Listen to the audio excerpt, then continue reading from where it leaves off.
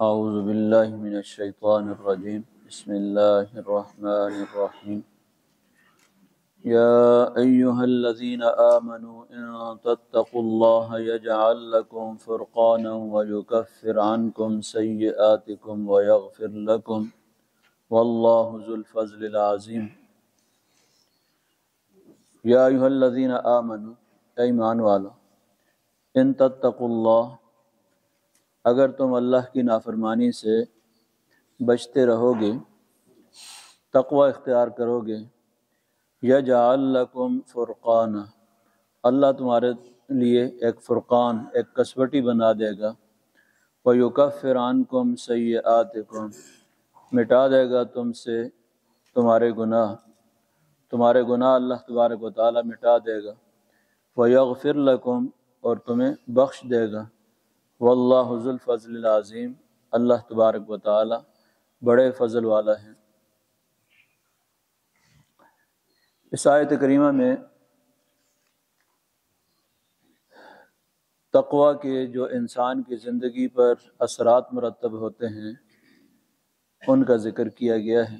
अहल ईमान को मुखातब करके फरमाया याजीन आमनु ए ईमान वालो, इन तक तत्तकुल्लाह अगर अल्लाह से तकवा इख्तियार करोगे, नाफरमानियों से बचोगे, तकवा क्या चीज़ है?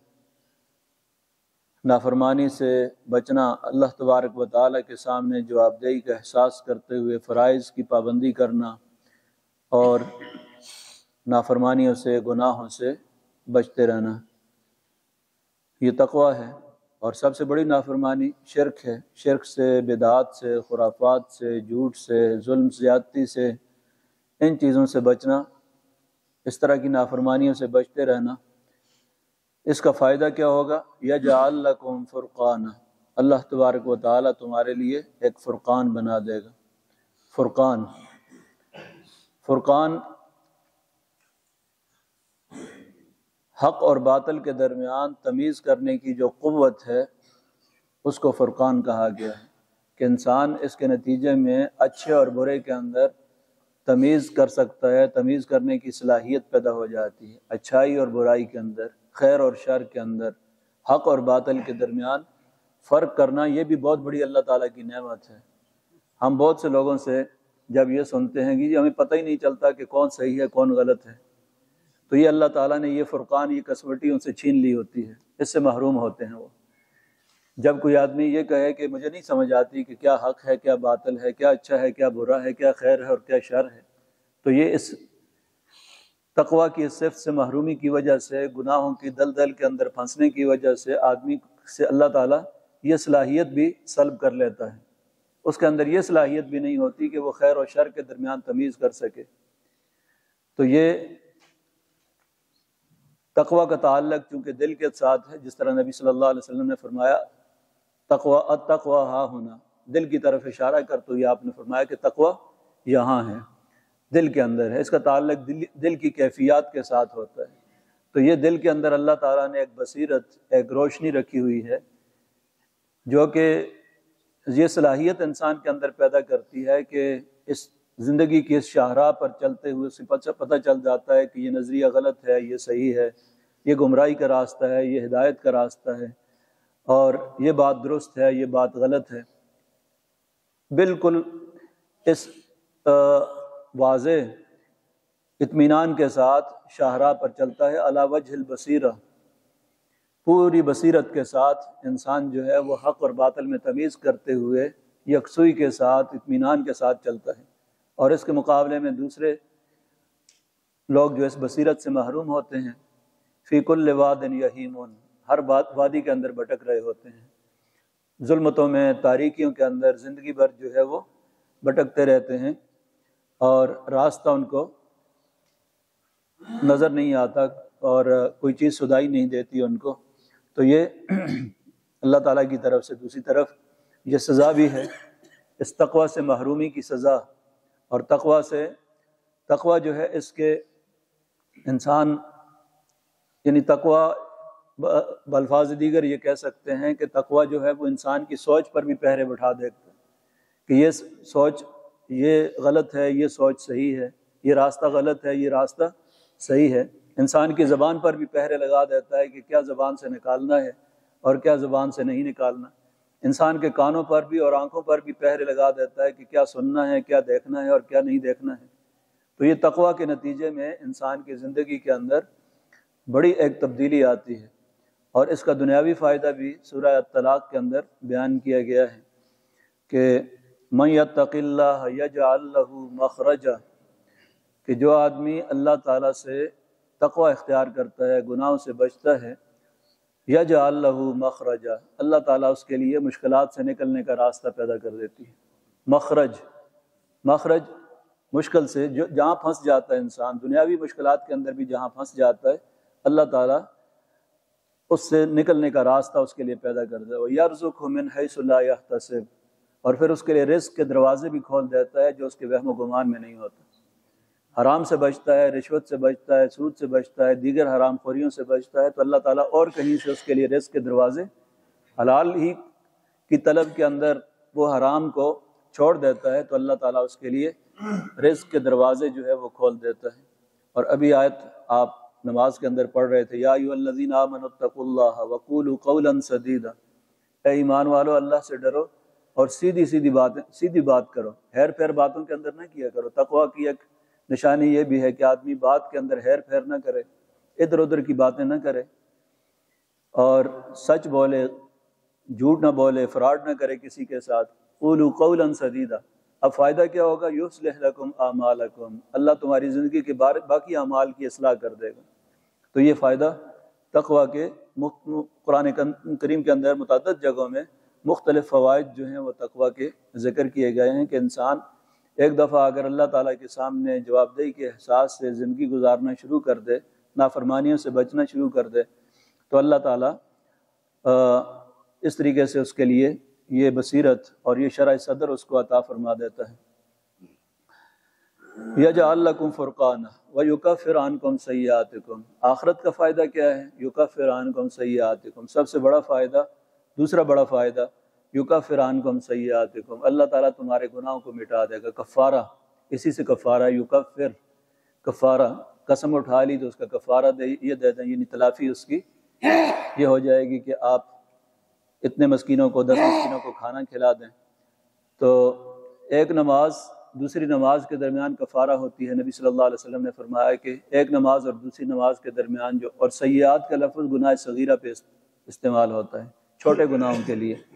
छोटे गुनाह एक नमाज़ से दूसरी नमाज़ के दरमियान कर लें तो नबी वसल्लम ने फरमाया कि दूसरी नमाज़ पहले गुनाहों के लिए कफ़ारा बन जाती है। एक जुमे से दूसरे जुमे के दरमियान जो गुनाह करते हैं, जुमे की नमाज़ पहले सगीरा गुनाहों के लिए कफ़ारा बन जाती है। एक रमज़ान से दूसरे रमज़ान के दरमियान जो गुनाह किए जाते हैं, नबी सल्लल्लाहु अलैहि वसल्लम ने फरमाया कि ये उनके लिए कफ़ारा बन जाते हैं। लेकिन बड़े गुनाहों के बारे में फरमाया, इन तज तनबू कबा इरामातन हनान हो अगर तुम बड़े बड़े गुनाहों से रुकोगे, नुका फ़िरान कम सही आते कम तो छोटे गुनाह हम तुम्हारे माफ़ कर देंगे। तो बड़े गुनाह तोबा से माफ़ होते हैं। तो बड़े गुनाहों के लिए तोबा करना, ये भी ज़रूरी है। और अगर बंदों का हक हो तो उसका, हक की अदायगी जो है, ये भी ज़रूरी होती है। युका फ़िरान कुम सयातकुम और तीसरा बड़ा फ़ायदा व यगफिर लकुम, अल्लाह ताला तुम्हें बख्श देगा। ये निजात का परवाना, तकवा जो है ये निजात का परवाना भी है कि अल्लाह तबारक वाली के यहाँ बख्शिश का फ़ैसला। और ये अल्लाह ताली का ख़ास फ़ज़ल होगा। वल्लाफ़ज़ल अज़ीम। बख्शिश का फ़ैसला अल्लाह ताली के फ़ज़ल से ही है। और छोटे गुनाहों का कफ़ारा इंसान की अपनी नेकियाँ भी काम आती हैं कि छोटे गुनाहों का कफ़ारा बन जाती हैं। और जहाँ तक बख्शिश का मामला है तो ये अल्लाह तबारक व के फ़ज़ल का मामला है कि वल्लाज़ीम वम करो बिकल्लिन कफ़र और जब तदबीरें कर रहे थे, साजिश कर रहे थे, आपके बारे में अल्लजीन कफ़र, वो लोग जिन्होंने कुफर किया लेस बेतू का ताकि आपको कैद कर दें, और यकतलू का या आपको कत्ल कर दें और यखरजू का या आपको निकाल दें जलावतन कर दें वयम करूना और ये चालें चल रहे थे, तदबीरें कर रहे थे वयम करल्ला अल्लाह भी अपनी तदबीर कर रहा था वल्लाह खैरमाकिरीन अल्लाह बेहतरीन तदबीर करने वाला है। नबी अकरम सल्लल्लाहु अलैहि वसल्लम की हिजरत के उस वाक़े की तरफ़ इशारा है, जो जिसके बाद नबी सल्लल्लाहु अलैहि वसल्लम को हिजरत का हुक्म दिया गया था कि जब नबी सल्लल्लाहु अलैहि वसल्लम ने तेरह साल मुकम्मल लोगों को दावत दी बिल आखिर मशरकिन मक्का ने यह फ़ैसला किया कि मुसलमानों की तादाद दिन ब दिन बढ़ती जा रही है।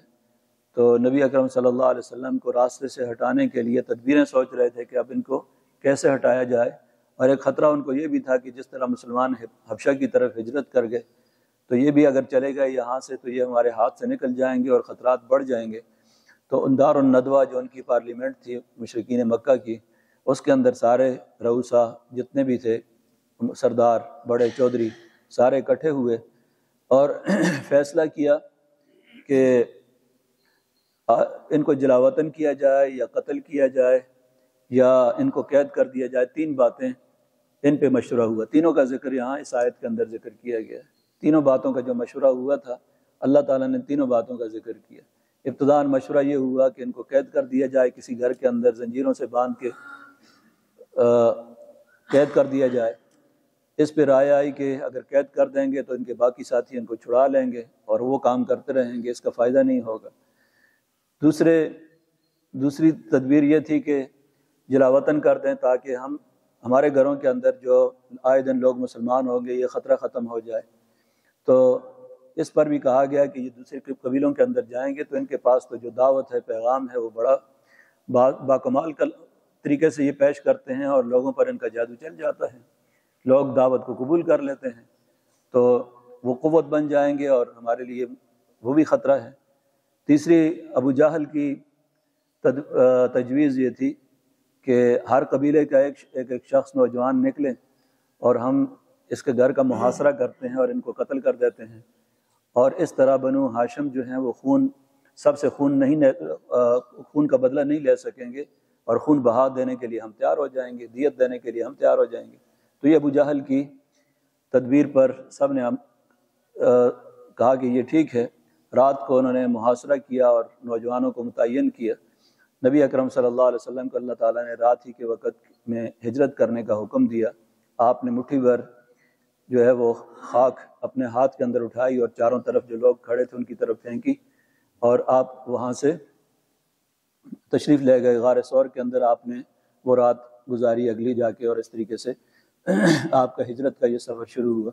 तो उसकी तरफ़ यहाँ पर इशारा किया जा रहा है वजम करो बिकल्लादीना। कि जब ये तदबीरें कर रहे थे, अल्लादीना कफ़र, वो लोग जिन्होंने कुफर किया ले उस बेतू का, ताकि आपको कैद कर दें, और यकतलू का, या आपको कत्ल कर दें, और युखरजू का, या आपको घर से निकाल दें, जलावतन कर दें, इलाके से, मक्का से आपको जलावतन कर दें। वयम करून तो ये तदबीरें कर रहे थे, साजिश कर रहे थे आपको कत्ल करने की। वयम करुल्ला अल्लाह की तदबीर ये थी कि अल्लाह ताला ने आपको बचाना है। तो अल्लाह ताला की तदबीर कामयाब भी कामयाब रही वल्ला खैरमाकिन अल्लाह तबारक व ताली की तदबीर जो है, वो बड़ी मज़बूत है। सबसे बेहतरीन तदबीरें, अल्लाह की उसके मुकाबले में कत्ल करने वालों की तदबीर नाकाम हो गई और बचाने वाली की तदबीर कामयाब हो गई। वल्ला खैरमाकिन अल्लाह तबारक व ताली बेहतरीन तदबीर करने वाला है।